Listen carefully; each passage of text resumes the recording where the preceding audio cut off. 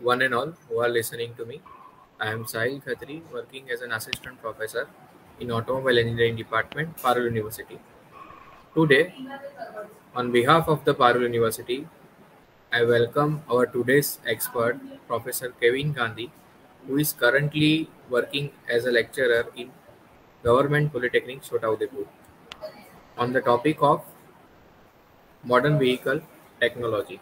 Our today's webinar is on the topic of modern vehicle technology. He is having more than eight years of a teaching experience and he has done bachelor in automobile engineering from GEC Rajkot. So by not wasting much a time, I would like to request Professor Kevin to please begin. Thank you, sir. Am I audible? Yes, sir. You are perfectly audible. Good afternoon, friends. Myself, Kevin Gandhi, lecturer in automobile engineering at JP Chota First of all, I would like to thank you, Mr. Sailesh sir and Mr. Sahil Khatri, for inviting me as an expert lecturer on online webinar on modern vehicle technology.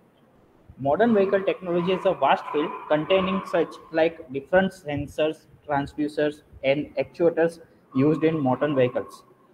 Different types of ignition systems, advancement in engine and its related components like compressed air car, hydrogen car, and blue motion technologies like GDI, gasoline direct injection, TDI, turbocharged direct injection, TSI, turbocharged stratified injection, VVT, variable wire timings, and advanced in safety equipments and modern features like seat belts, pre-tensioners and load limiters, airbags, crash tests,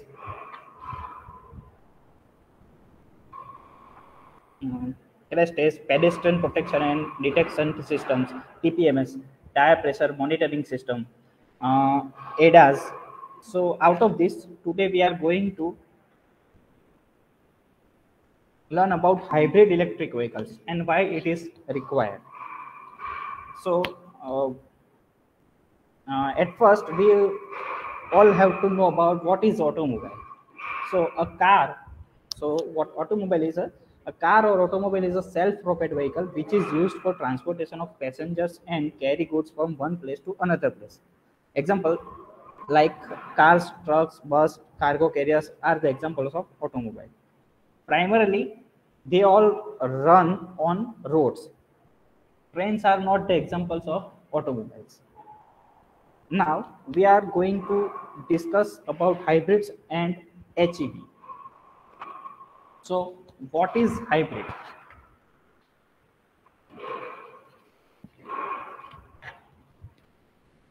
Uh, Sahil sir, slide is visible?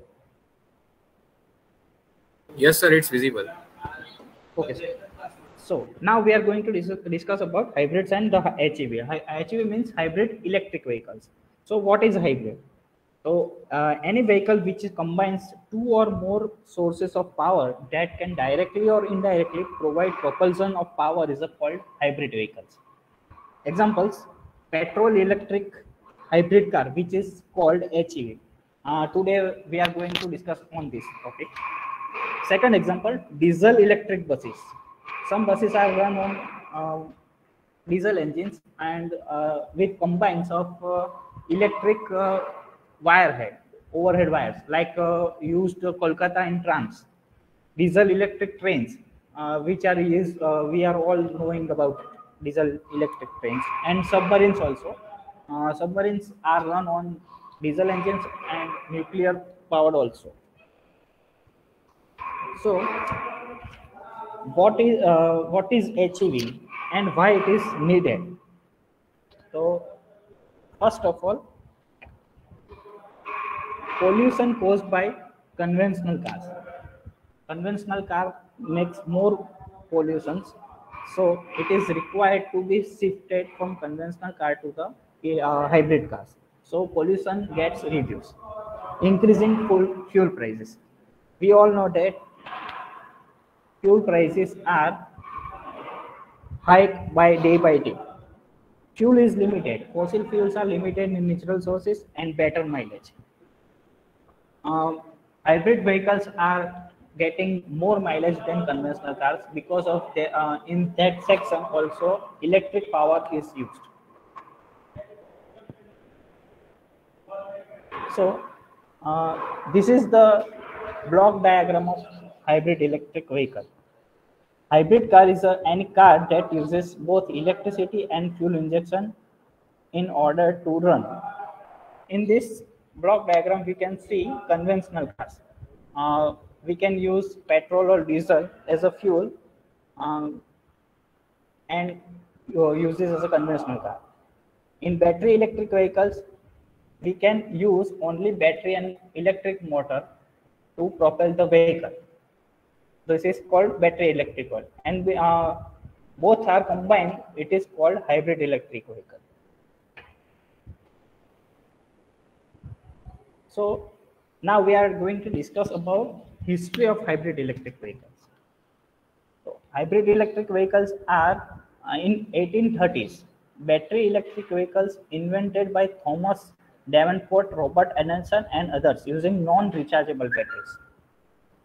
We can see the photograph of 1830s electric vehicles. In 1890s, EVs outsold gas cars to 10 to 1 Oldsmobile and Studebaker started an EVs company to started as a EV companies. We can see the pictures of electric vehicles at that time. In 19, 1904, Trigger company builds the first hybrid electric vehicle, like uh, handmade electric vehicle. They made hand electric vehicle. In 1910s, mass-produced Ford cars undercut hand-built electric vehicles. Um, Henry Ford introduces assembly line for the manufacturing of conventional cars. So it uh, reduces the production like hand-built cars of electric cars. EV is perceived as a status symbol and utility vehicles until great depression.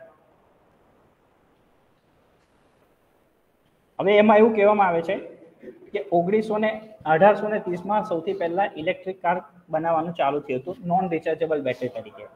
ધીરે ધીરે એ લોકોએ EV બેટરીનું production ધીરે ધીરે વધતું ગયું કારનું battery production વધતું ગયું. એક ટાઈમ એવો આવ્યો કે જ્યારે દસ ગાડી વેચાતી હતી કમ્પેર ટુ ધ એક નોર્મલ આપણે પેટ્રોલ વેહિકલ તરીકે. પણ જેવી રીતે જ્યારથી ફોર્ડ હેનરી ફોર્ડે માસ પ્રોડક્શન ચાલુ કર્યું એસેમ્બલી લાઈન નાખીને, ત્યારથી ઇલેક્ટ્રિક વેહિકલનું જે પ્રોડક્શન હતું કે એનું ઉપરનું જે ફર્ધર ડેવલપમેન્ટ હતું તે અટકી ગયું. અને હવે એવો ટાઈમ આવ્યો છે કે જેનાથી આપણને જરૂર પડે છે ફ્યુચર માટે કે હવે તમને ખબર છે કે લિમિટેડ સોર્સેસ થઈ ગયા છે. લિમિટેડ સોર્સેસ એટલે ફોસિલ ફ્યુલ આવતા પચાસથી સિત્તેર વર્ષમાં પૂરા થઈ જશે. અને ક્લાઇમેટ ચેન્જ બી મોટો ઇસ્યુ છે. એટલા માટે હવે આપણે એવું વિચારવું પડ્યું છે કે હવે આપણે કન્વેન્શનલ ફ્યુલથી કંઈક અલ્ટરનેટિવ એરેન્જમેન્ટ તરીકે જોવું પડશે. એટલે હવે ફરીથી પાછું ઇલેક્ટ્રિક વ્હીકલનો કોન્સેપ્ટ ઉપર આવ્યો છે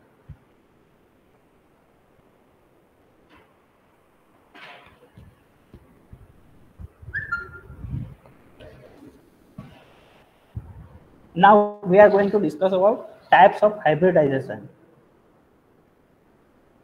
So first of all, mild or micro hybridization, which are idle stop starting function, regenerative braking, are not capable of using electric motor to propel the vehicle and these systems are usually 42 volts or less.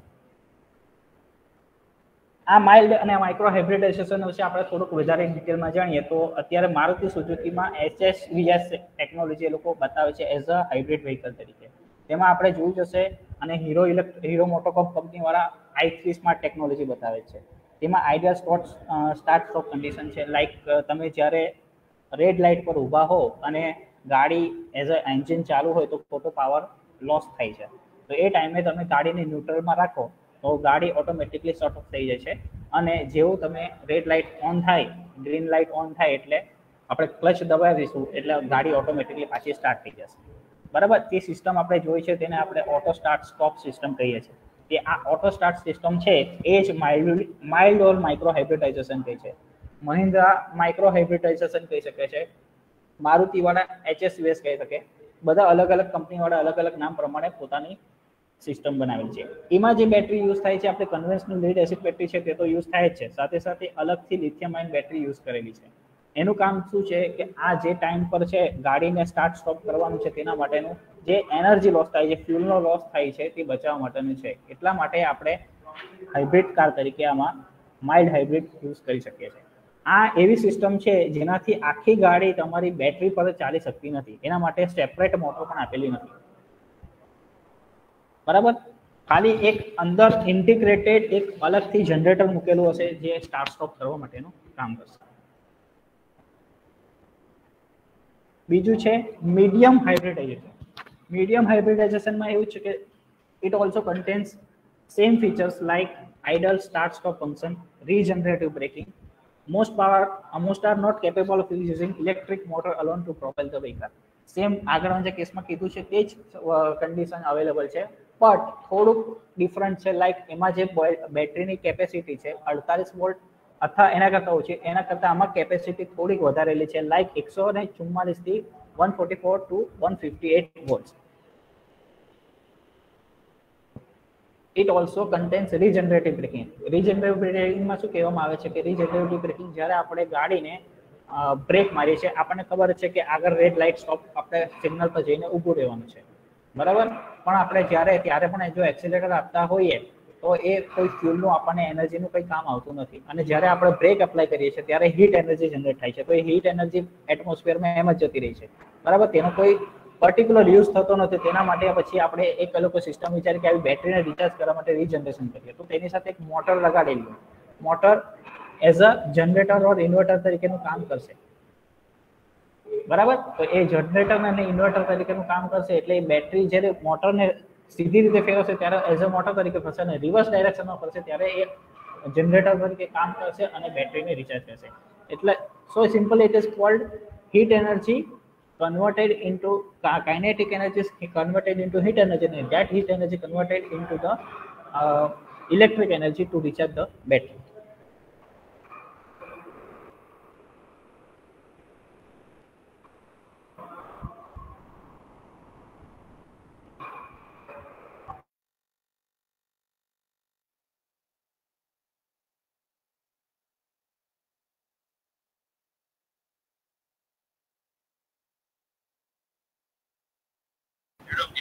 battery Little bit uh, problem of the connectivity of the expert. Please wait. Hello sir hello હા sir અવાજ આવે છે હા sir આવે છે અવાજ આવે હા થોડો network problem I think call cut થઈ ગયો છે it's okay sir it's okay okay we will continue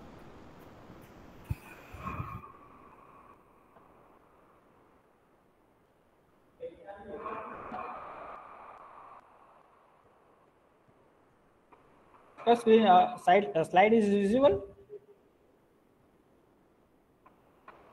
Uh, not yet, sir.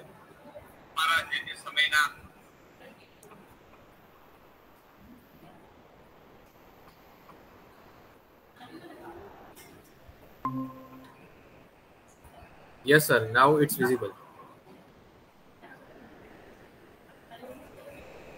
So it is a little bit advanced version of the mild or medium uh, hybridization.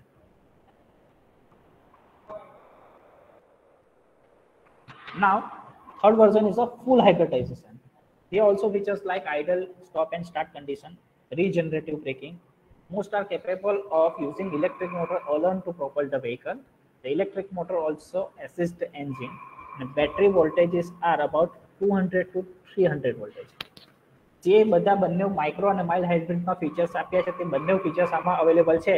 But આમાં also એક features available છે like કે ખાલી આપણે બેટરીને પર જ કે ઇલેક્ટ્રિક મોટર પર આપણે ગાડીને વેહિકલને રન કરાવી શકીએ છીએ. જે પેલા બેનોમાં પોસિબલ નહીં હતું. કે આમાં વસ્તુમાં પોસિબલ છે કે આપણે આ ખાલી ગાડીને એન્જિન બંધ કરી શકીએ અને એન્જિન બંધ કરીને આપણે ખાલી જો ડ્રાઈવ કરવું હોય ઇલેક્ટ્રિક મોટર પર, તો પણ આપણે આના પર કરી શકીએ. આ એક એનો મેજર ફાયદો છે.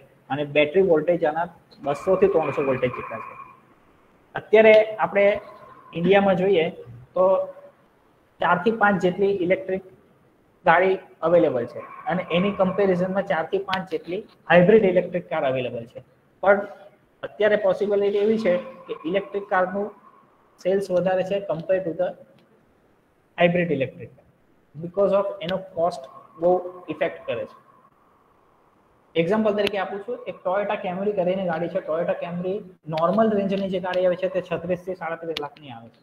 અને એનું જે હાઇબ્રિડ વર્ઝન છે એ બેતાલીસ લાખનું આવે છે. સાત આઠ લાખનો ડિફરન્સ આવે છે compare to conventional car and hybrid electric vehicle અને એમાં જે એવરેજ છે એવરેજનો ફરક આવે છે કે એવરેજ તેમાં તેરથી ચૌદ કિલોમીટર પર લીટરની આવે છે તમારી નોર્મલ જે ગાડી કહેવાય તેના પર. અને પેલામાં આઈ થિંક સત્તર સુધીની આવે છે હાઇબ્રિડ કારમાં એટલો ફરક આવે છે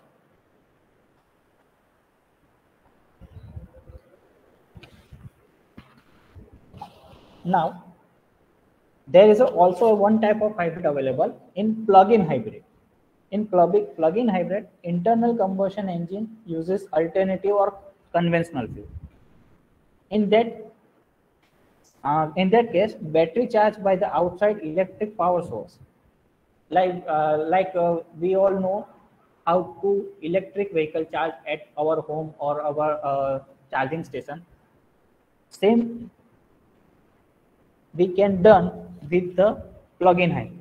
During urban urban driving or city driving, most power comes from the stored electric uh, electricity.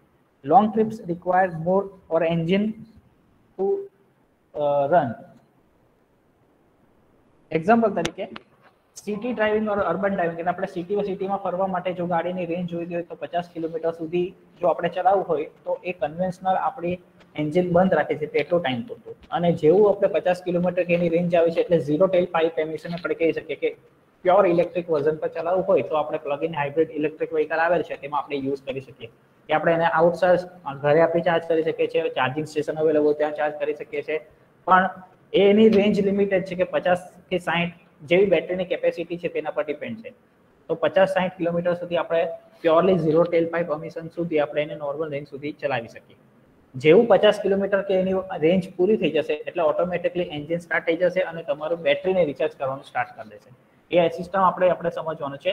એમાં ટાઈપ્સ ઓફ હાઇબ્રિડ આવશે. તેમાં આપણે સમજવાનું છે કે સિરીઝ હાઇબ્રિડ કોને કહેવાય છે પેરેલલ હાઇબ્રિડ કોને કહેવાય સ્પ્લિટ હાઇબ્રિડ કોને કહેવાય તે આપણે એમાં સમજવાનું છે. Now types of hybrid. The first of all, series hybrid. The fuel tank, we can see the picture of series hybrid. The fuel tank goes to the engine, but the engine turns as a generator. Then the generator can either charge the batteries or power an electric motor that drives the transmission. The gasoline engine does not directly power the vehicle. આ system એવું કહેવા માંગે છે કે આપણે જે series hybrid છે એ series હાઇબ્રિડમાં આપણે તો ગાડીમાં જે એન્જિન યુઝ થાય છે કન્વેન્શનલ એન્જિન એ એન્જિન ડાયરેક્ટ ગાડીને ચલાવવા માટે કે મોટરને વ્હીકલને પ્રોપેલ કરવા માટે યુઝ થતું નથી એ engine work as a generator જનરેટરનું કામ કરશે જે બેટરીને રિચાર્જ કરશે અને બેટરીની સાથે જે ઇલેક્ટ્રિક મોટર જે છે તે એકચ્યુઅલી વ્હીકલને ડ્રાઈવ આપશે. તો એકચ્યુઅલી જે સિરીઝ હાઇબ્રિડ સિસ્ટમમાં છે એ આપણું જે એન્જિન છે એ નાનું એન્જિન આવશે સિંગલ સિલિન્ડર એન્જિન આવશે લાઈક બસો સીસીથી છસો સીસી સુધીનું નોર્મલ એન્જિન યુઝ થાય છે એમાં. એનું કામ શું છે? સિમ્પલ કે બેટરીને ચાર્જ કરવાનું છે. બેટરીને ચાર્જ કરવાનું એટલે એઝ અ જનરેટર તરીકે વર્ક કરશે, એ બેટરીને ચાર્જ કરશે, એ બેટરીનો પાવર ઇલેક્ટ્રિક મોટરમાં જશે અને ઇલેક્ટ્રિક મોટર થ્રુ આપણું વ્હીકલ ચાલશે. આ સિસ્ટમમાં કોઈ પણ જગ્યાએ ડાયરેક્ટ એન્જિન વ્હીલ સાથે કનેક્ટ થતું નથી. બરાબર? આ એક સિમ્પલ સિરીઝ હાઇબ્રિડનો એક્ઝામ્પલ છે. એક્ઝામ્પલ તરીકે સેવરોલેની વોલ્ટ ગાડી છે ઇન્ડિયામાં અવેલેબલ તો નથી, પણ સેવરોલેની વોલ્ટ ગાડી આવે છે, તો એ ગાડી અવેલેબલ છે તેમાં ફોરેનમાં યુએસમાં ત્યાં એ આ સિસ્ટમ પર કામ કરે છે. બીજું આપ્યું છે પેરેરલ હાઇબ્રિડ તો પેરેરલ હાઇબ્રિડમાં શું કીધું છે a fuel tank that supplies gas to the engine like a regular car. It also has a set of batteries that run on electric motors. Both the engine and electric motor can the transmission at the same time. તો આમાં એવું કીધું છે કે બંને વસ્તુ આમાં થશે સેપરેટર તરીકે as a separate as gasoline engine તરીકે તમે ડ્રાઈવને વ્હીકલને ડ્રાઈવ કરવા માંગો છો તો બી ચાલશે અને એઝ અ સિમ્પલ તમે ખાલી ઇલેક્ટ્રિક મોટર પર ચલાવવા માંગો છો તો પણ ચાલશે. એટલે આ બંને રીતે ચાલુ કરો. બંને રીતે આ વ્હીકલને આપણે ડ્રાઈવ કરી શકીએ. જ્યારે સિરીઝ હાઇબ્રિડમાં શું હતું? ડાયરેક્ટલી કનેક્ટ થતું નહીં હતું. એન્જિન સિમ્પલી એ બેટરીને રિચાર્જ કરતું હતું. આમાં કેવું છે? એન્જિન થ્રુ પણ આખું તમે જોઈ શકો છો કે પાવર વ્હીલને જશે અને બેટરી થ્રુ પણ પાવર તમારો મોટર થ્રુ થઈને વ્હીલમાં જશે. એટલે ઇન્ડિપેન્ડન્ટલી પાવર સોર્સ છે બંને. તેનાથી તમે વ્હીકલને ડ્રાઈવ કરાવી શકો. જ્યારે સિરીઝ હાઇબ્રિડમાં ખાલી તમે મોટર થ્રુ જ વ્હીકલને ડ્રાઈવ કરાવી શકો. એન્જિન ડાયરેક્ટ કનેક્ટ થતું નથી. અને ત્રીજું છે સિરીઝ પેરેલલ હાઇબ્રિડ તો આ બંનેનું કોમ્બિનેશન છે. સિરીઝ અને પેરેલલ બંનેનું કોમ્બિનેશન છે. એટલે પેરેલલ તરીકે તો તમને ખબર છે કે બંને પાવર સોર્સથી ઇલેક્ટ્રિક મોટરનો પાવર સોર્સ અને એન્જિનનો પાવર સોર્સ બંને પાવર સોર્સથી આપણે વ્હીકલને ડ્રાઈવ કરાવી શકીએ છીએ. અને સિરીઝમાં તમને ખબર છે તે રીતે આ બંનેનું કોમ્બિનેશન કરાવીને બનાવી શકો. Series parallel type also called power split hybrid તો પાવર સ્પ્લિટમાં સ્પ્લિટ કરવા માટેની છે. More beneficial than above hybrid બંનેનું કોમ્બિનેશન વધારે બેટર છે, પણ એનું જે કન્ફિગરેશન છે, એનું ટ્રાન્સેક્શન છે લાઈક ગિયર બોક્સ છે તે બહુ કોમ્પ્લિકેશન થઈ જશે. કોમ્પ્લિકેશન એને ડાયગ્નોસિસ કરવાનું બહુ ભારે થઈ જશે. Most of the latest vehicle base on this hybrid majority અત્યારે જે હાઇબ્રિડ વ્હીકલ અવેલેબલ છે, તે આના પર બેઝ પર છે. ઇન્ડિયામાં અત્યારે લેક્સસની બે ગાડી અવેલેબલ છે. ટોયોટા કેમરી છે. પછી ટોયોટા પ્રાયસ ગાડી આવતી હતી now they are discontinue and uh, Volvo XC90. It is also called uh, hybrid electric uh, HEV and also plug-in hybrid. So we can charge the Volvo XC90 car at home or at any recharge station and we can drive up to 50 or 60 kilometer on electric motor, zero tail, tailpipe emission.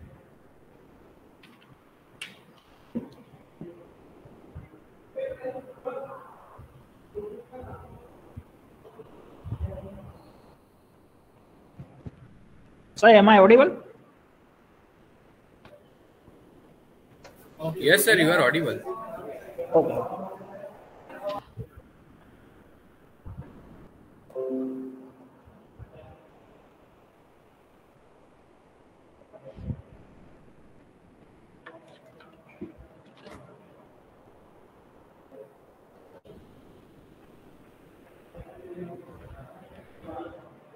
Now we are discussing about why it is required rather than battery electric why HAV hybrid electric vehicle is required rather than battery electric vehicles. Because of India is to, uh, moving towards battery uh, electric vehicle EV vehicles rather than HEV but there is a, some troubles like infrastructure problems still available in India. Charging station available not not available in India. Big issue. Battery life uh, also big issue and lack of uh, awareness regarding repairing or workshop or trained mechanics. So we now we have to fill the gap between the conventional cars to the HEVs for most of cars related because bikes are electric vehicle two wheelers are convenient or more suitable uh, regard uh, rather than the conventional but in cars section we have to fill the gap. And also uh, electric vehicles are properly run on electricity. Uh, on in india also most of power plants are gas uh, coal based which has also created big pollution and lithium ion battery wastage or recycling are also being facing big issues. So we have to moving step by step to the conventional car to the electric vehicle, not directly to the uh, electric vehicles.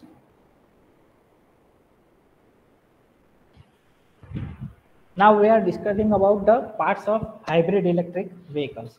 So first of all, engines.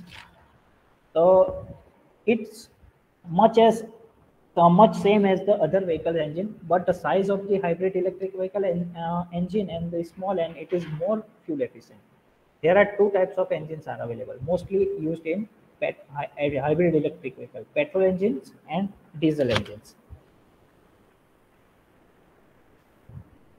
but the engine on a hybrid vehicle will be smaller and will use advanced technologies to reduce emissions and increase the efficiency example તરીકે તમને કેવું કે અત્યારે જે બીએમડબ્લ્યુની I I eight કરીને car available છે ઇન્ડિયામાં એ હાઇબ્રિડ કાર યુઝ કરે છે. તો હાઇબ્રિડ ટેકનોલોજીમાં શું કહેવા માંગે છે કે નોર્મલ જે કાર આવે છે, તેમાં જનરલી ટુ થાઉઝન્ડ સીસીનું પેટ્રોલ એન્જિન એ લોકો યુઝ કરતા હોય છે. પણ એમાં એ કારમાં હાઇબ્રિડ કારમાં એ લોકો વન પોઈન્ટ થ્રી લીટરનું પેટ્રોલ એન્જિન યુઝ કર્યું છે. એમાં ટેકનોલોજી એવી વાપરે છે કે એન્જિનને જ્યાં સુધી બને ત્યાં સુધી કોમ્પેક્ટ સ્મોલ કરવાની ટ્રાય કરી છે. એન્જિનને લાઇટ બનાવવાની ટ્રાય કરી છે કે એની ફ્યુલ એફિશિયન્સી વધે અને બાકીનું જે પાવર જે છે એ લોકો ઇલેક્ટ્રિક મોટર થ્રુ જનરેટ કરશે. એટલે કોમ્બિનેશન કરીને બંનેનું જોશે તો એ નોર્મલ કન્વેન્શનલ કાર કરતાં એનો પાવર જે છે મેક્સિમમ પાવર આઉટપુટ એ મેક્સિમમ બંનેનું પાવર સોર્સ થઈને કન્વેન્શનલ કાર કરતાં વધી જશે. એમાં નવી નવી ટેકનોલોજીસ યુઝ કરી છે, તો એન્જિનના રિલેટેડ કઈ કઈ ટેકનોલોજીસ યુઝ કરી શકાય? તો પહેલું કીધું છે ટીડીઆઈ હવે ડીઝલ એન્જિન હશે તો એમાં turbo charge direct injection use કરી શકે છે. બરાબર? ટીએસઆઈ પેટ્રોલ બેઝડ હોય તો ટીએસઆઈ યુઝ કરે છે. ટર્બો ચાર્જ સ્ટ્રેટિફાઈડ ઇન્જેક્શન આ નવી નવી ટેકનોલોજીસમાં એ લોકો જેમ બને ત્યાં સુધી એન્જિનને સ્મોલ અને કોમ્પેક્ટ રાખવાની ટ્રાય કરી છે. બીકોઝ ઓફ એન્જિન જેટલું સ્મોલ થશે કોમ્પેક્ટ થશે, તેટલું આપણને પેસેન્જર કે જે કમ્પાર્ટમેન્ટ છે, તેમાં તમને લેગ સ્પેસ પણ વધારે મળી શકે. અને ગાડીનું એન્જિનનું વજન વેઇટ ઓછું હશે તો ગાડીનું ઓવરઓલ વેઇટ ઓછું થશે. Body to weight power to weight ratio ઓછો રહેશે તો તમને વધારે પિકઅપ બી મળી શકે ફ્યુલ એફિશિયન્સી પણ મળી જશે. બીજું કીધું છે બેટરીઝ બેટરીઝ એ નહીં hybrid car are the energy storage device for the electric motors unlike the gasoline in the fuel tank, which can only power the gasoline engine, the electric motor on a hybrid car can put energy into the batteries as well as to draw energy from them. Generally આપણી ગાડીમાં જે battery use થતી હશે તે lead acid battery use એનું majority function શું હશે? કે ગાડીને આપણે સ્ટાર્ટ કરવાનું છે. પણ જે હાઇબ્રિડ ઇલેક્ટ્રિક વ્હીકલ્સ છે તેનું બેટરીનું બે કામ કરવાનું છે. એક તો ઇલેક્ટ્રિક મોટરને પાવર સપ્લાય કરવાનું છે અને બીજું કામ છે જ્યારે બેટરીને આપણે રીજનરેટિવ બ્રેકિંગ તરીકે યુઝ કરશું પાછળ આપણે સમજવું રીજનરેટિવ બ્રેકિંગ કોને કહેવાય? તો રીજનરેટિવ બ્રેકિંગ તરીકે યુઝ કરશું, ત્યારે એ બેટરીને રિચાર્જ કરવાનું કામ પણ કરશે. તો બે, એ જે બેટરી છે, એ હાઇબ્રિડ ઇલેક્ટ્રિક વ્હીકલમાં ત્રણ ટાઈપની જનરલી બેટરી યુઝ કરી શકીએ. લેડ એસિડ બેટરી એ નોર્મલ બેટરીમાં આપણે એક્સપેરિમેન્ટ બેઝ પર કંઈક પ્રોજેક્ટ કરવો હોય તો ચાલી શકે. પણ માસ માર્કેટ પ્રોડક્શન કે મોટા લેવલ પર કરવું હોય તો લીડ એસિડ બેટરી એટલું યુઝ થતી નથી. જનરલી બધી જગ્યા પર લિથિયમ આયન બેટરી તમને ખબર હશે તો લિથિયમ આયન બેટરી યુઝ થાય છે. અત્યારની જેટલી બી ઇલેક્ટ્રિક વ્હીકલ આવે છે, એમાં લિથિયમ આયન કાં તો lithium ion polymer battery use થાય છે. બીજું એક આવી શકે નિકલ કેડમિયમ આવે છે.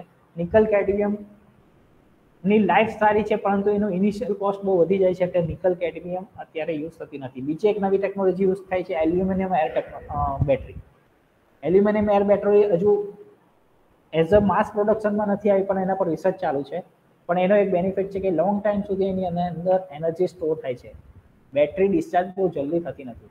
જનરલી આપણી ગાડીમાં છે લિથિયમ આયન કે એવું હોય, તેમાં થોડું થોડું બેટરી અમુક ટાઈમ ટુ ટાઈમ થોડા દિવસ સુધી તમે યુઝ ના કરો થોડું થોડું એનું ડિસ્ચાર્જ રેટ છે વધારે છે as compare to aluminium air ion technology એ હજુ હજુ ઇન્ટ્રોડ્યુસ નથી થઈ. રિસર્ચ એન્ડ ડેવલપમેન્ટ સ્ટેજ પર ચાલે છે.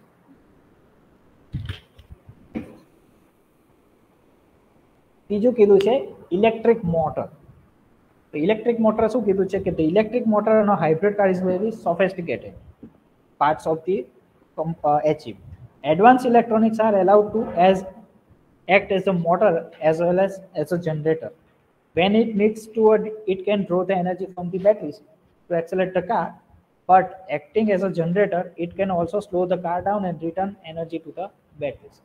મેં તમને કીધું કે મેમ ઇલેક્ટ્રિક મોટર બેટરી કામ કરશે એઝ અ મોટર તરીકે પણ કામ કરશે. જ્યારે બેટરીને માંથી પાવર બેટરીમાંથી પાવર લેશે અને વ્હીકલના વ્હીલ સુધી પહોંચાડશે અને ડ્રાઈવ વ્હીકલ ડ્રાઈવ કરવા માટે જે પાવર જોઈએ છે તે બેટરીમાંથી લેશે.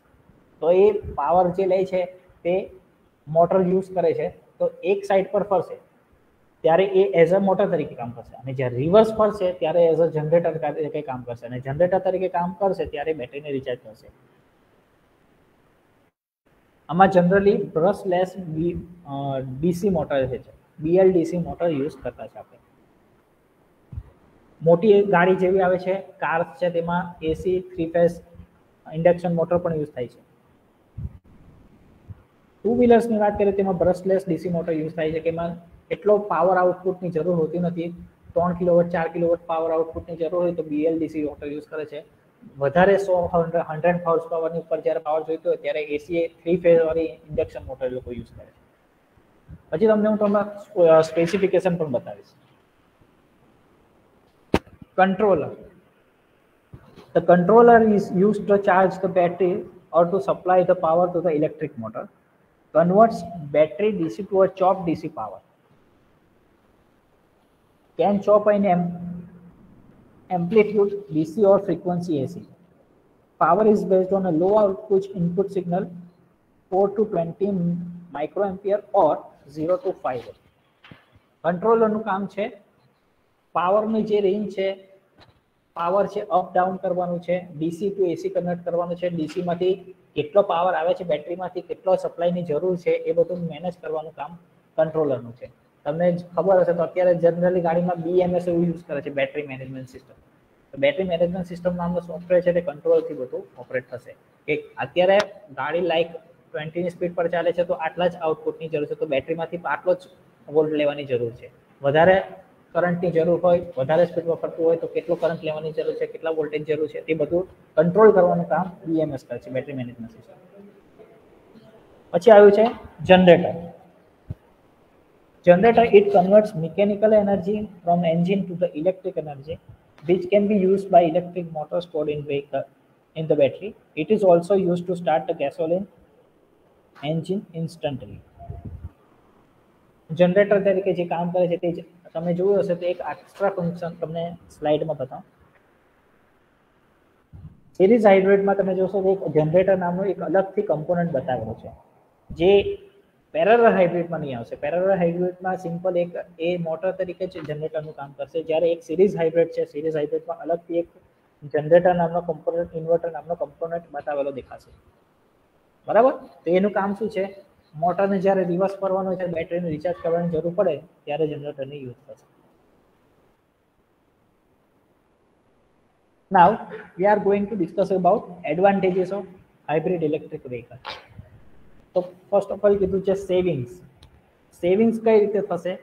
તો એ જરાક આપણે કેલ્ક્યુલેશન કરવું પડશે. એક રેકોર્ડ ડેટા રેકોર્ડ કરેલો છે કે લાઈક જનરલી થોડી હેવી વેહિકલ યુઝ થાય છે નોટ ફ્યુલ એફિશિયન્ટ કારિંગ તો આઠ પોઈન્ટ પંચાવન litre petrol eight point fifty five litre petrol use four hundred kilometre run એટલે એક નોર્મલ નોર્મલ કન્વેન્શનલ કાર છે. તો કન્વેન્શનલ કાર આપણે સો કિલોમીટર ચલાવવા માટે આઠ પોઈન્ટ પંચાવન લીટર પેટ્રોલ યુઝ કરે છે. અને એ જ રીતે એની સામે કમ્પેરિઝનમાં જોઈએ તો હાઇબ્રિડ ઇલેક્ટ્રિક વ્હીકલ સો કિલોમીટર ડ્રાઈવ કરવા માટે three point ninety two litre petrol use કરે છે. તો નિયરલી અબાઉટ ત્રણથી સાડા ત્રણથી ચાર લીટર પેટ્રોલનું સેવિંગ્સ થાય છે. બરાબર? તો એ એઝ અ સેવિંગ્સ બતાવ્યું છે તે ફ્યુલનું સેવિંગ્સ બતાવ્યું છે. હવે સેવિંગ્સની સાથે તમે કમ્પેર કરો કે ફ્યુલની જે પ્રાઇસ છે અત્યારે નિયરલી અબાઉટ સો રૂપિયા લીટર છે. તો ચાર લીટર જેવું ફ્યુલ સેવ થાય છે. તો સામે તમારી સામે ચારસો રૂપિયાનું સેવિંગ થાય છે. એક એનો સેવિંગ્સનો પાર્ટ કીધો છે. As a fuel saving as a money saving બંને કીધું છે. બીજું કીધું છે લો એમિશન તો લો એમિશન એટલા માટે કીધું છે કે અત્યારે જે નોર્મલ કાર યુઝ કરે છે તેમાં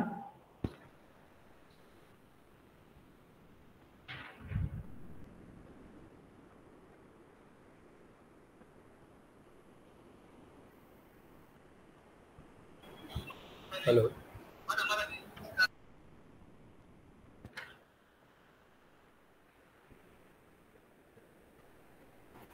hello hello sir hello yes sir.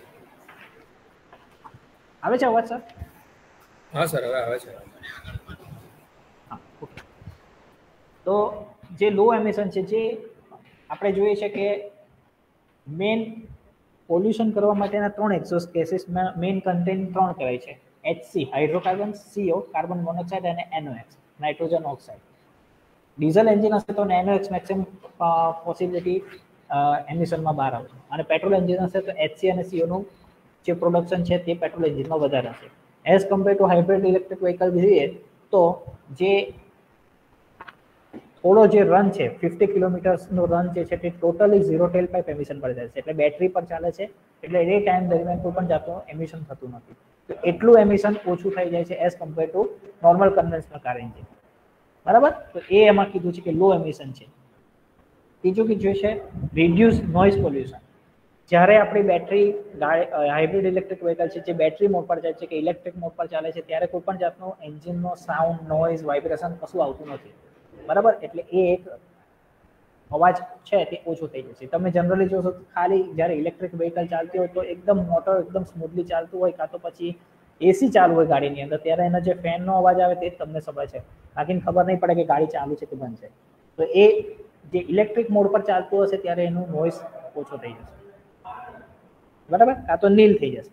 ને જ્યારે એ આપણે વસ્તુ આપણે કન્વેન્શનલ કાર પર ચલાવશું, ત્યારે એટલું એન્જિનનો નોઇઝ તો રહેવાનો જ છે. બરાબર? એન્જિનનું વાઇબ્રેશન રહેવાનું છે બોડીનું વાઇબ્રેશન એને લીધે આવશે, તો એ બધું રહેવાનું છે. તો એના લીધે જો આપણે પ્યોર કન્વેન્શનલને લીધે હાઇબ્રિડ ઇલેક્ટ્રિક વ્હીકલ પર જઈશું, તો થોડોક ડિફરન્સ આવશે. માં મેન્ટેનન્સ લો મેન્ટેનન્સ એક ટોપિક કીધો છે, પણ થોડુંક મેન્ટેનન્સમાં મેન્ટેનન્સ લો તો આવી શકે છે, પણ તેના માટે એક ડિફિકલ્ટી એક વસ્તુ એ છે કે એના માટે પ્રોપરલી ટ્રેન્ડ ટેકનિશિયન અવેલેબલ નથી.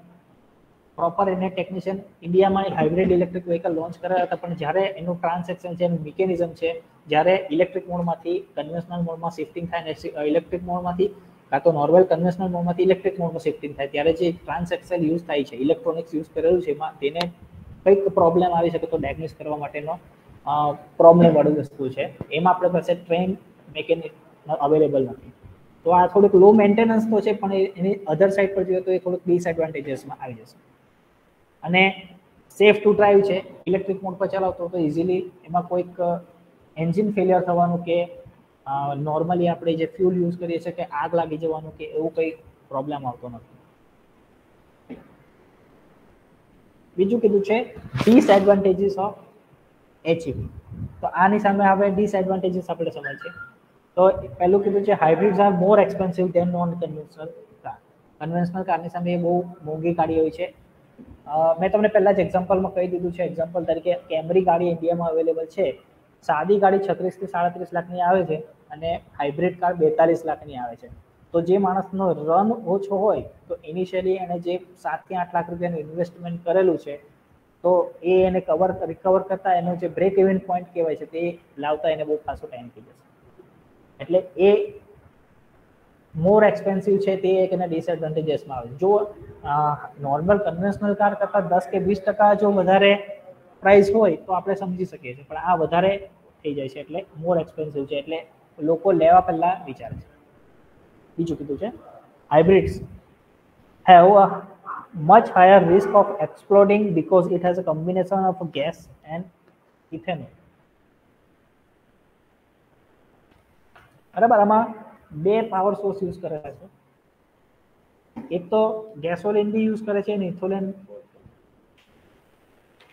ઇથેનોલ બેઝ ગેસોલિન બી યુઝ કરે છે ઇલેક્ટ્રિક મોડ બી યુઝ કરે છે. તો કોઈક વાર જો સર્કિટમાંથી કે ઇલેક્ટ્રિક મોટર છે કે એમાંથી બેટરી છે, એમાંથી કોઈ જગ્યાથી લીકેજ થાય અને બ્લાસ્ટ થવાની પોસિબિલિટી વધારે છે.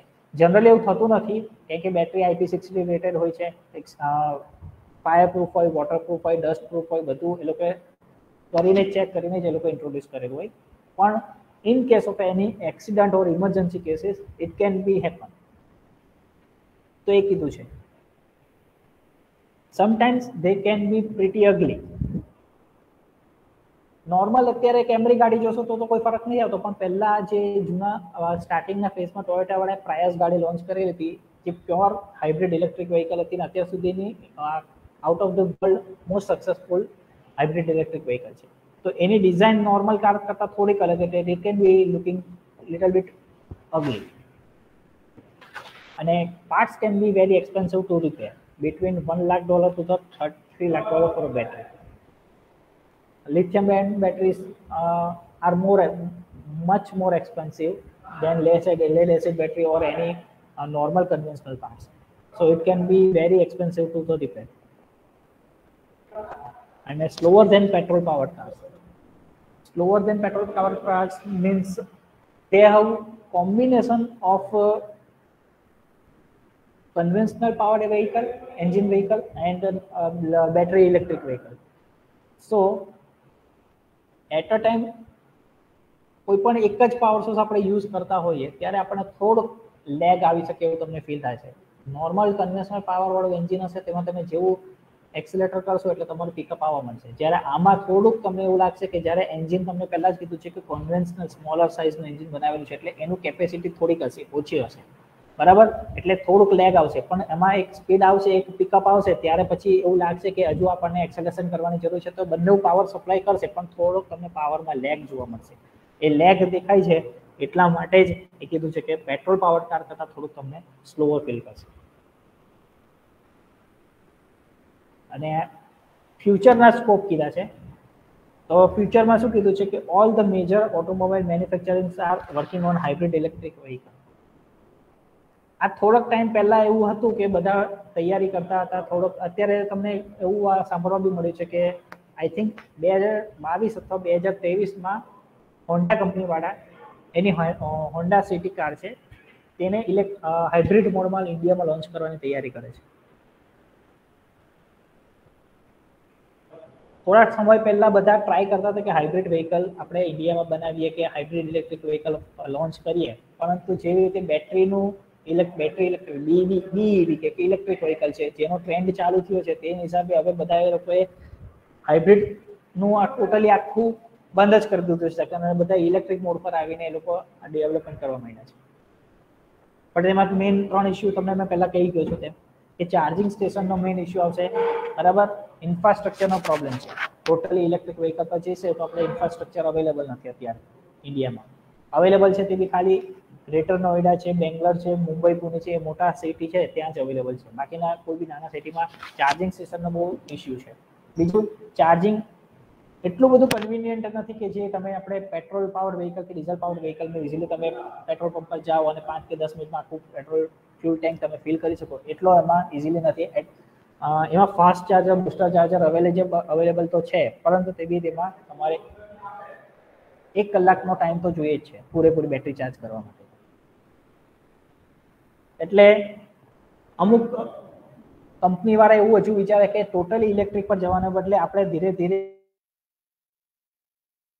હાઇબ્રિડ ઇલેક્ટ્રિક વ્હીકલ અને હાઇબ્રિડ ઇલેક્ટ્રિક વ્હીકલ ટુ વર્ષ to the battery electric vehicle A way બરાબર છે. પરંતુ અમુક કંપનીએ ડાયરેક્ટ સ્વિચ ઓવર કરી દીધું છે.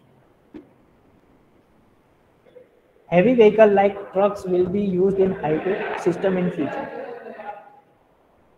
ઇન્ડિયામાં અત્યાર સુધી તો અવેલેબલ નથી બતાવ્યું, પણ ફ્યુચરમાં એવું કહી શકે કે હાઇબ્રિડ સિસ્ટમ યુઝ કરી શકે. બીકોઝ ઓફ ટ્રકમાં જે બેટરી આપણે ટોટલ ઇલેક્ટ્રિક મોડ પર ચલાવશું, તો એની બેટરી બહુ કેપેસિટી છે, તે બહુ મોટી વધારે હશે અને એને ચાર્જ કરવા માટે કશો ટાઈમ જશે. એટલે આ હાઇબ્રિડ મોડ પર હશે, તો એ થોડા ટાઈમમાં બેટરી બી ચાર્જ થતી રહેશે. ડીઝલ પાવર પર આપણે જ્યારે એને એન્જિન આપણે ચલાવતા હશું, ત્યારે બેટરી બી રિચાર્જ થશે. થોડા ટાઈમ સુધી ફૂલી ઇલેક્ટ્રિક મોડ પર બી ચાલશે, એટલે આ વધારે મોડ કન્વીનિયન્ટ બેટર છે. Efficiency of hybrid electric vehicle will further increase in future અત્યારે જે હાઇબ્રિડ ઇલેક્ટ્રિકની એફિશિયન્સી છે ડેવલપમેન્ટ કરતા રહેશું રિસર્ચ થતું રહેશે તો એનું ફ્યુચરમાં હજુ જે રેન્જ જે કીધી છે પ્યોર ઇલેક્ટ્રિક મોરપા ચલાવવા માટેની પચાસ કિલોમીટર કે સાઠ કિલોમીટર કોઈ સિત્તેર કિલોમીટર છે, એ રેન્જ હજુ આપણે વધારીશું future safety features will be add in new generation hybrid car or other vehicle નવા નવા સેફ્ટી ફીચર્સ અત્યારે આપણે સ્ટાર્ટિંગમાં જ કીધું છે કે એડા સારો આવે છે નાઇટ ડિટેક્શન આવે છે પેડેસ્ટ્રેન વાળું રડાર સિસ્ટમ આવશે કેમેરા આવશે સ્ટેબલ સિસ્ટમ લગાડશું તો એને સેફ્ટી ફીચર્સ છે તેમાં એડ ઓન થશે. ક્રેશ ટેસ્ટ યુઝ થશે ક્રેશ ટેસ્ટના નોમ્સ આવશે ક્રેશ સેન્સર બધા યુઝ કર્યા છે એર બેગ્સ યુઝ કરશું. તો આ બધા સેફ્ટી ફીચર્સ યુઝ કરશું ઈએસપી પ્રોગ્રામ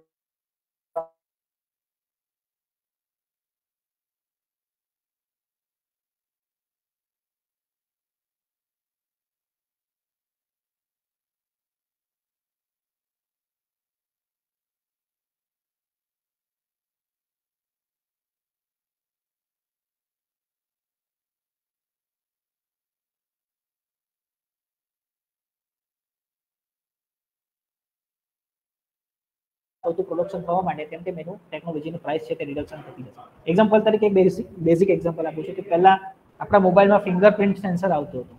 એકદમ હાઈ એન્ડ મોબાઈલમાં આવતું હતું. બરાબર, જ્યારે ટેકનોલોજી નવી હતી. હવે જેમ જેમ ટેકનોલોજી જૂની થઈ ગઈ છે ફિંગરપ્રિન્ટ સેન્સર પાંચ હજારથી છ હજારના મોબાઈલમાં પણ તમને મળી જાય છે. એટલે જેમ જેમ આવો વખતે છે કે જેમ જેમ માસ પ્રોડક્શન વધતું જશે જેમ જેમ આની પ્રોડક્શન વધતી જશે, તેમ તેમ આજે હાઇબ્રિડ ઇલેક્ટ્રિક વ્હીકલ છે, તેની કોસ્ટ પણ ઓછી થતી હશે.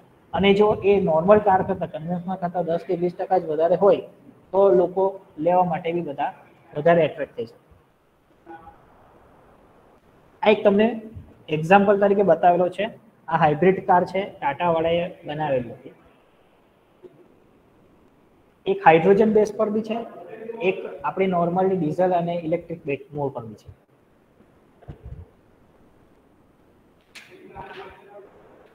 Hello, sir. Am I audible? Yes, sir. You are audible.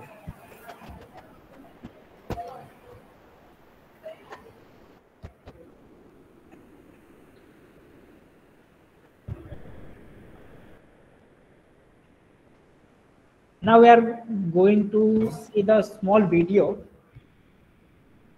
on hybrid electric vehicle.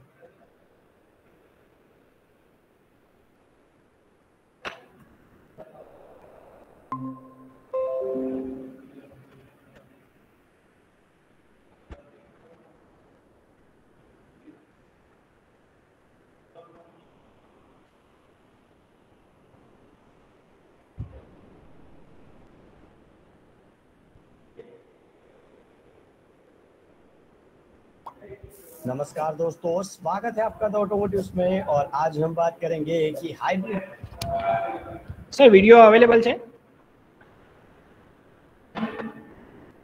hello No, sir, video is not uh, working.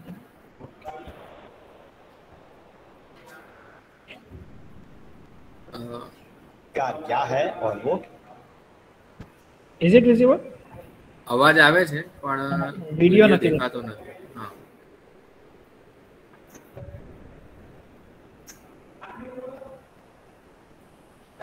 कैसे काम करती है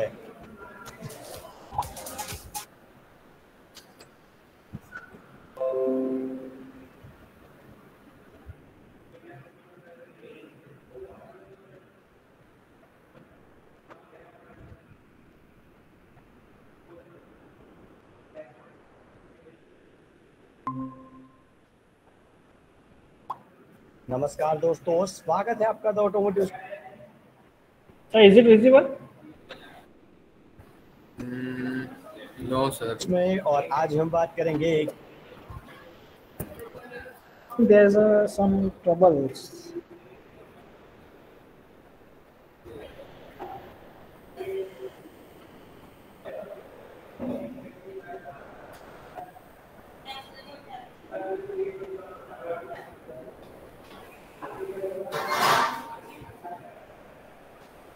Okay, sir. The hybrid car.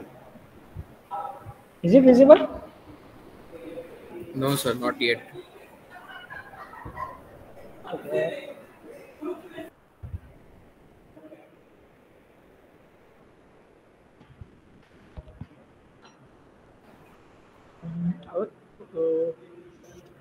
मैं એજ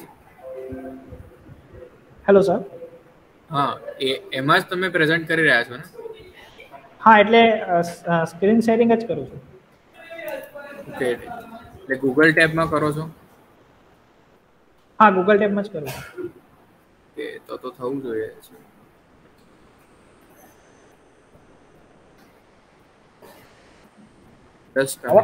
અવાજ આવે છે ને તમને? વિડીયોનો અવાજ સંભળાય છે પણ વીડિયો નથી દેખાતો. અવાજ સંભળાય છે પણ I will try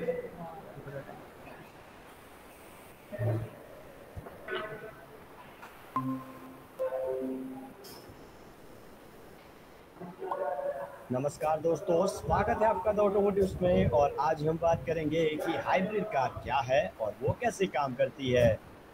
Sir is it visible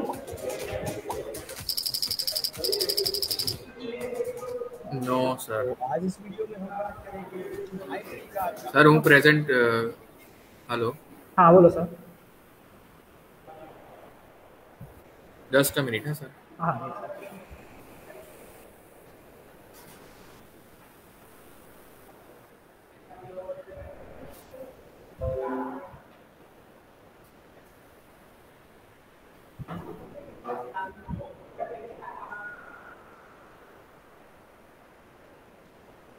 sir. એક કામ કરો ને હું પ્રેઝન્ટ કરી દઉં છું અહીંયાથી. હા તમારામાં દેખાય છે? હા તમે તમારી સ્ક્રીન બંધ કરીને okay just a minute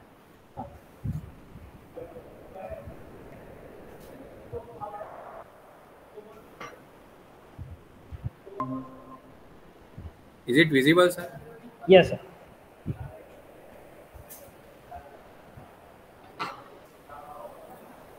आपका तो ऑटोमोटिव आज हम बात करेंगे कि हाइब्रिड कार बराबर है ना वीडियो? काम करती है।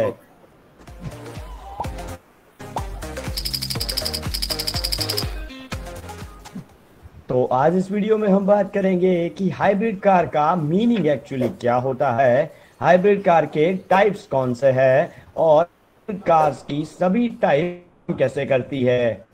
अब शुरुआत करते हैं मीनिंग से। तो हाइब्रिड कार का मतलब ऐसी गाड़ी से ज़्यादा टाइप के पावर का यूज़ करती हो, यानी कि वो जिसके अंदर इंजन के साथ इलेक्ट्रिक मोटर भी लगी हो और गाड़ी उन दोनों से या फिर उनके कॉम्बिनेशन से चलती हो। अब बात करते हैं कि तो व्हीकल के मेनली छह टाइप है, जिसमें से पहली है सीरीज़ हाइब्रिड दूसरी है पैरेलल हाइब्रिड तीसरी है सीरीज़ पैरेलल हाइब्रिड चौथी है प्लग इन हाइब्रिड पाँचवें नंबर के ऊपर आती है माइल्ड हाइब्रिड और लास्ट में है माइक्रो हाइब्रिड अब बात करते हैं सीरीज़ हाइब्रिड सीरीज़ हाइब्रिड में इंजन एक जनरेटर लगा होगा और जनरेटर के साथ लगा होगा एक चार्जर जिसे हम इन्वर्टर या फिर कंट्रोलर भी बोल सकते हैं। अब जो इन्वर्टर है, उसके साथ कनेक्ट होगी एक हाई वोल्टेज बैटरी और दूसरे सिरे के साथ कनेक्ट होगी एक इलेक्ट्रिक मोटर अब जो इलेक्ट्रिक मोटर है, उसके साथ कनेक्ट होगी रियर एक्स को पावर दिया जाएगा। अब फुली इलेक्ट्रिक मोड में बैटरी पावर से व्हीकल को लाया जाएगा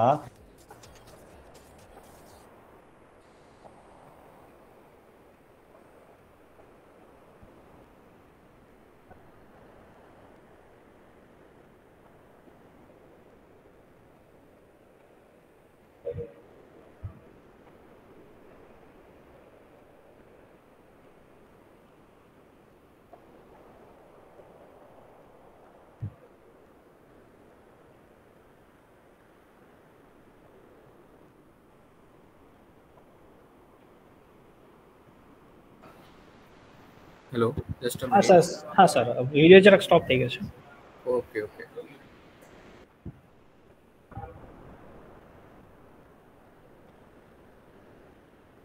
अब जब बैटरी लो हो जाएगी इंजन स्टार्ट और जनरेटर से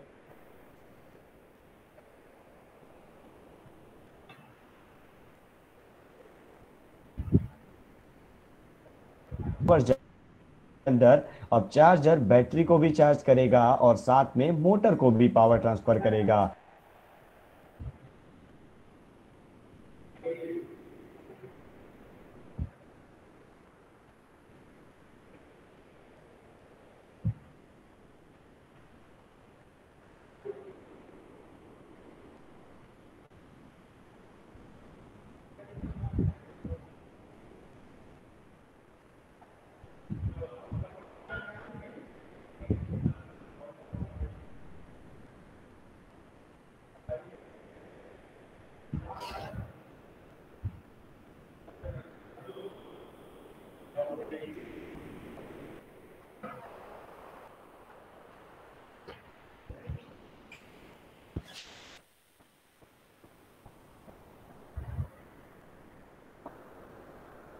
जिसके कारण व्हीकल चलने के साथ साथ बैटरी भी चार्ज हो हाइब्रिड सिस्टम में इंजन का व्हील के साथ कोई डायरेक्ट मैकेनिकल कनेक्शन नहीं होता जिसके कारण इंजन डायरेक्टली व्हील्स को पावर सप्लाई नहीं कर पाएगा।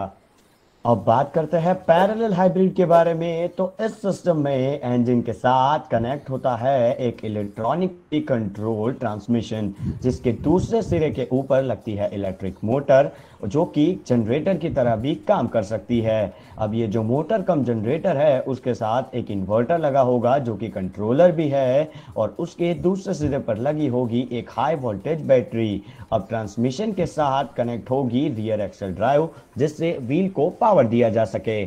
अब ऑल इलेक्ट्रिक मोड में व्हीकल जो है, वो बैटरी के पावर से मोटर के थ्रू व्हीकल को चलाएगा, यानी कि जो ट्रांसमिशन है, वो मोटर के साथ रियर एक्सल को कनेक्ट करेगा। अब ऑल इंजन मोड के अंदर मोटर कट ऑफ़ हो जाएगी और इंजन की मदद से व्हीकल भी चलेगा और जो मोटर है, वो जनरेटर की तरह काम करके बैटरी को भी चार्ज करेगी, जिसके कारण व्हीकल चलने के साथ साथ बैटरी भी रिचार्ज होगी। अब क्रिटिकल सिचुएशन के अंदर जहाँ पावर की ज़रूरत सबसे ज़्यादा होती है, तब बैटरी के पावर से मोटर और फ्यूल पावर से इंजन एक साथ ट्रांसमिशन के थ्रू रियर एक्सल को पावर देंगे, जिससे व्हीकल मैक्सिमम टॉर्क के ऊपर काम कर पाएगा। बात करते हैं सीरीज़ पैरेलल कंबाइंड हाइब्रिड की तो सिस्टम में दोनों पैरेलल एंड सीरीज़ सर्किट दी गई होती है, जिसमें इंजन के साथ एक पावर स्प्लिटर जुड़ा हुआ होता है, जिसके साथ जनरेटर और मोटर दोनों कनेक्ट होते हैं। अब जनरेटर और मोटर दोनों के साथ एक इन्वर्टर कम कंट्रोलर लगा होता है, जिसकी दूसरी ओर लगाई जाती है एक हाई बैटरी और पावर स्प्लिटर के साथ ड्राइव थ्रू दोनों व्हील जुड़े होंगे। यहाँ इस सेगमेंट में vehicle full electric engine only और इंजन एसपी मोड में चल सकेगा। और according to situation controller specific mode पर व्हीकल को ऑपरेट करेगा। साथ में वो battery status remaining fuel vehicle speed driving condition सब सेंसर की मदद से सेंस करेगा। उनके मुताबिक डिसीज़न लेगा, जिसके कारण हर एक सिचुएशन में व्हीकल मैक्सिमम एफिशिएंसी से काम कर पाएगा। और बात करते हैं प्लग इन हाइब्रिड की। तो आगे देखी हुई तीनों type series hybrid parallel hybrid और सीरीज़ पैरेलल हाइब्रिड को एक्सटर्नली चार्ज करने की फैसिलिटी दी जाए तो उन्हें प्लग इन हाइब्रिड कहते हैं। इसका एक फ़ायदा ये भी है कि आप बैटरी को एक्सटर्नली चार्ज करके व्हीकल को फुल्ली इलेक्ट्रिक मोड में विदाउट फ्यूल का यूज़ किए चला सकते हो, जो कि प्लग इन हाइब्रिड के बिना पॉसिबल नहीं हो सकता। अब आते हैं माइल्ड हाइब्रिड के ऊपर तो माइल्ड हाइब्रिड एक इलेक्ट्रॉनिक स्टार्ट और रीजनरेटिव ब्रेकिंग वाली कार है इस सिस्टम में कन्वेंशनल कार स्टार्टर मोटर की जगह एक मॉडिफाइड मोटर होती है, जिससे कनेक्ट किया जाता है एक बैटरी के साथ। अब कार स्टार्टिंग के टाइम मोटर बैटरी के पावर से कार को स्टार्ट कर देगी और ब्रेकिंग के दौरान व्हील से आता हुआ रिवर्स पावर यूज़ करके वही मोटर जनरेटर की तरह काम करेगी और इलेक्ट्रिसिटी प्रोड्यूस करके उसे जाने देगी हाई वोल्टेज बैटरी में, जिसके बाद उसे यूज़ किया जाएगा कार स्टार्टिंग में या फिर ऑक्सिलरी सिस्टम के लिए। अब बात करते हैं माइक्रो हाइब्रिड की, जो कि एक हाइब्रिड नहीं है, परंतु कार मैन्युफैक्चरर ने प्रमोशन के लिए इसे हाइब्रिड रेंज में ऐड कर दिया है। सिस्टम में जनरेटिव ब्रेकिंग दिया जाता है, जिससे एक एक्स्ट्रा ऑक्सिलरी बैटरी या फिर प्राइमरी बैटरी के दौरान चार्ज किया जाता है। तो दोस्तों, आज इतना ही, और अगर पसंद आया हो तो लाइक कीजिए शेयर कीजिए और सब्सक्राइब कीजिए।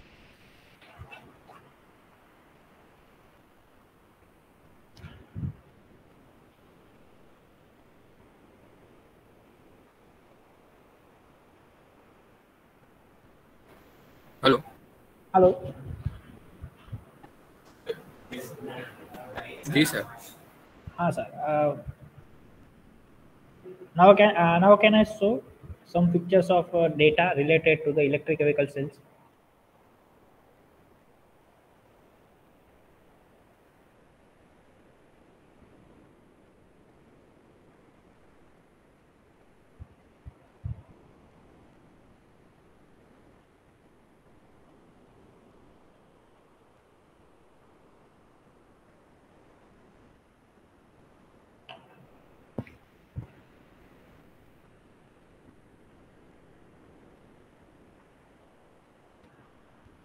Sir, is it visible? Yes sir but હજુ ફોટો ખુલ્યો નથી Okay.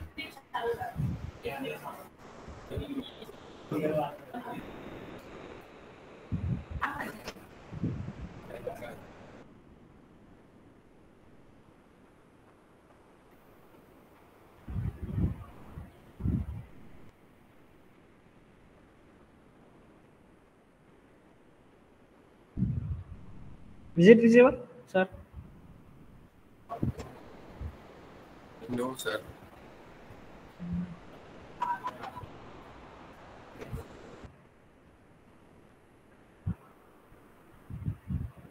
Can you, sir, sir, this picture?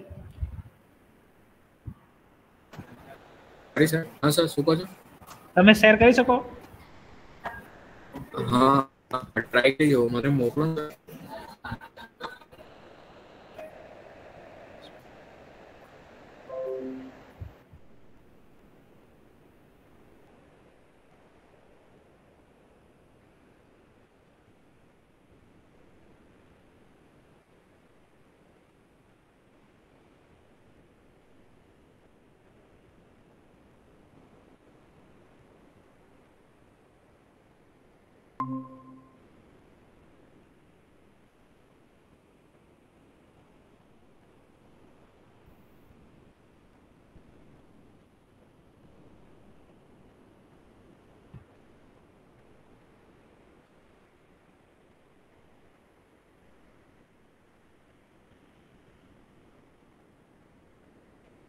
Sir, is it visible?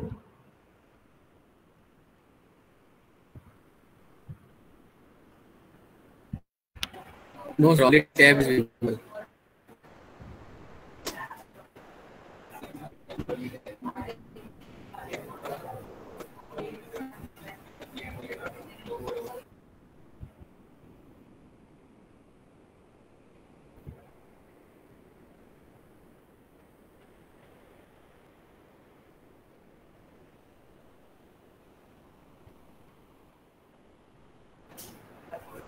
Sir, if it is possible, uh, afterwards, uh, I will share with the students. Okay, I will send. I, I will. I will send you. And uh, you will uh, send uh, just to send uh, it to me, and then I will share with the students. Okay.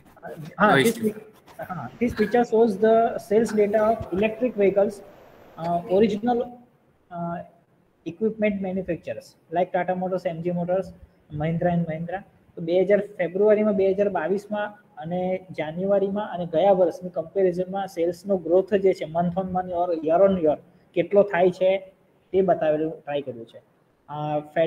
Federation of automobile association dealer association છે, તેના તરફથી આ source ફૂલી data બનાવેલો છે. તો એ તમને એવું તો પછી હું સેન્ડ કરી દઈશ. અને ટુ વ્હીલરનું પણ છે કે ટુ વ્હીલરનું સેલ્સ ઇલેક્ટ્રિક વ્હીકલનું જે છે, એ કેટલી સ્પીડે વધી રહ્યું છે તે બતાવ્યું છે કે ફેબ્રુઆરીમાં ટ્વેન્ટી ટ્વેન્ટીમાં કેટલું સેલ થયું છે? અને ગયા વર્ષે ટ્વેન્ટી ટ્વેન્ટી વનમાં કેટલું સેલ થયું છે? તો યર એન્ડ યર કેટલો ગ્રોથ થાય છે ઇલેક્ટ્રિક વ્હીકલ્સ તે બતાવવાનું ટ્રાય કરે છે. ટુ વ્હીલર બરાબર છે કે બીકોઝ ઓફ ટુ વ્હીલરનું જે પ્રાઇસ છે તે નોર્મલ કન્વેન્શનલ જે આપણા મોપેટ્સ છે તેના કરતાં દસથી પંદર ટકા પ્રાઇસ વધારે હોય છે. પરંતુ જે ઇલેક્ટ્રિક વ્હીકલ છે તે ઇલેક્ટ્રિક વ્હીકલ જે કાર છે તેની કોસ્ટ અત્યારે બી nearly about one point five times છે. બરાબર? તો વન પોઈન્ટ ફાઈવ ટાઈમ્સ છે એટલે લોકો એ લેવા પહેલા પણ બ્રેક ઇવન પોઈન્ટનું વિચારી લેશે. કેમ કે ઇન્ડિયામાંથી બી કાર લેશે, બધા તો ડાયરેક્ટલી કેશ પરચેસ કરતા નથી, તેના માટે લોન લેશે. તો એક્સ્ટ્રા જે પેમેન્ટ કરો છો, તો તેના માટે કેટલું પેમેન્ટ એક્સ્ટ્રા કર્યું, તેના પર પાછું વ્યાજ ઇન્ટરેસ્ટ કેટલું લેવાનું, એ બધું કેલ્ક્યુલેશન કરશો તો અત્યારે જોશો તો ઇલેક્ટ્રિક વ્હીકલ એટલું બધું કન્વિનિયન્ટ કે ઇકોનોમિકલી નહીં કહી શકાય.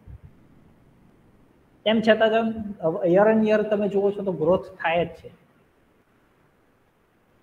તો આ એના માટેના ચાર પાંચ જે ફિક્સ છે, હું આ શૈલેષ અને કાં તો પછી આ સાહિલ સરને શેર કરી દઈશ. તો તમે સર બતાવી દેજો છોકરાઓ students hello sure sure. Sir કોઈક ડાઉટ હોય તો કોઈકને કોન્ટેક્ટ કરી શકો. Hello just a minute sir just a minute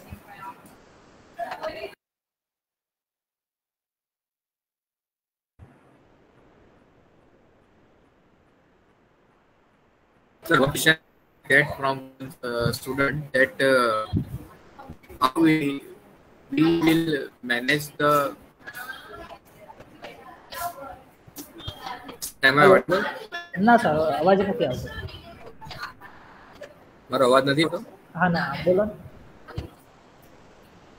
sir એક સ્ટુડન્ટનો એક ક્વેશ્ચન છે કે આપણે જે ઇલેક્ટ્રિક વેસ્ટ કઈ રીતે મેનેજ કરી શકીએ? How we will manage the electric waste that will be Uh, related to vehicles? related to uh, lithium ion batteries? Batteries. તો એના માટે તો પહેલા આપણે સૌથી પહેલા ટેકનોલોજી ડેવલપ કરવી પડશે રિસાયકલિંગ કરીને. બેટરી જે લિથિયમ આયન છે લિથિયમ આયન બેટરીને રિસાયકલિંગ કરીને એનો મેક્સિમમ જો યુઝ કરી શકીએ તો જ એ આપણો વેસ્ટ એનો કંટ્રોલ કરી શકાય છે. બાકી જો તમે એનું મેન્યુફેક્ચરિંગ કરતા જ રહો તો એનો કોઈ સોલ્યુશન નથી. અને બીજી વાત કે એક્ઝામ્પલ તરીકે લિથિયમ જે છે લિથિયમ મોસ્ટ ઓફ વર્લ્ડમાં અવેલેબલ નથી. South American countries like Chile Peru Peru એ બધી કન્ટ્રીઝ છે, ત્યાં જ મેક્સિમમ લિથિયમ અવેલેબલ છે. તો તે લિથિયમને જે આપણે માઇન્સમાંથી એક્સ્ટ્રેક્ટ કરવાનું જે કામ છે ને તે બહુ ડિફિકલ્ટ છે. અને તેના માટે લોટ્સ ઓફ વોટર યુઝ થાય છે. તો અત્યારે એવી સિસ્ટમ છે કે લિથિયમ આયન લિથિયમ આયન કરવામાં બધી બેટરી બનાવવા માટે લિથિયમ ત્યાંથી લિથિયમ લઈ લે છે. અને મેજોરિટી ત્યાં ચાઇનાનું કંટ્રોલિંગ છે. તો એ ચાઇના એક્સટ્રેક્ટ કરીને ત્યાંથી લઈ જાય છે, ચાઇના ચાઇનામાં બેટરી બનાવવા માટે. પ્રોબ્લેમ ત્યાં તો એવું થઈ ગયો છે જે કન્ટ્રીઝ છે ત્યાંથી નીકળે છે લિથિયમ એને એક્સટ્રેક્ટ કરવા માટે એટલું બધું પાણી જોઈએ છે કે ત્યાંની જે ઇકોસાઇકલ છે સિસ્ટમ છે, તે ડેમેજ કરી નાખી. એટલે એક તરફ આપણે એવું કરવાની વાત કરીએ છીએ કે આપણે ગ્રીન હાઉસ ઇફેક્ટની થાય જે ગ્લોબલ વોર્મિંગ છે તેને કંટ્રોલ કરવાની કે પોલ્યુશન કંટ્રોલ કરવાની વાત કરીએ છીએ. અને બીજી સાઈડ આપણે ત્યાંથી લિથિયમ કાઢ્યા જ કરીએ છીએ. અને એનું રિસાયકલિંગ માટે જો નહીં વિચારીએ કે એ જ પાછી એને રિસાયકલિંગ કરીને યુઝ કરીએ, તો પાછું તે સાઈડ પર જે ઇકોસાયકલ છે ઇકોસિસ્ટમ છે, તેને આપણે ડેમેજ કરી શકીએ. ઇવન ઇન્ડિયામાં આપણે સમજીએ કે સિત્તેર ટકા જ્યાં પર પાવર પ્લાન્ટ છે, બધું એવું કહે છે કે લોકો નોન પોલ્યુટિંગ વ્હીકલ છે નોન પોલ્યુટિંગ વ્હીકલ છે.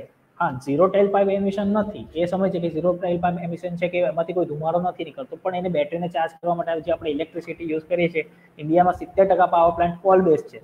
અને કોલ બેઝમાંથી જ્યારે ઇલેક્ટ્રિસિટી બને છે, ત્યારે મેક્સિમમ પોલ્યુશન થઈ જ જાય છે. તો એવું આપણે જોઈએ તો અત્યારે ટોટલી આપણે સોલાર બેઝ પર હોઈએ કે જે રિન્યુએબલ એનર્જી છે અને બેઝ પર હોય મેક્સિમમ યુઝ કરતા હોય કે પ્રોડક્શન કરતા હોય, તો આપણે સમજીએ કે આપણે એને પોલ્યુશન ઓછું કરતા છે કે ઝીરો ટેલ પાઇપ તરફ જઈએ છીએ પણ જો કોલ બેઝ પાવર પ્લાન્ટની જ ઇલેક્ટ્રિસિટી જો આપણે યુઝ કરશું, તો પછી કોઈ પોલ્યુશન આપણે ઓછું કરવાના એવું કંઈ આપણો જે એમ છે તે કંઈ ફુલફિલ થતો નથી. એટલે એનો રિસાયકલિંગ કરવા માટેનો જ એક મેન છે. અને આઈ થિંક હરિયાણામાં કે ગુડગામમાં એટારો ટેકનોલોજીસ કરીને એક કંપની છે. તે અત્યારે ઇન્ડિયામાં અવેલેબલ છે, જે રિસાયકલિંગ કરવાનું કામ કરે છે. મેક્સિમમ જે લિથિયમ આયન બેટરીઝ છે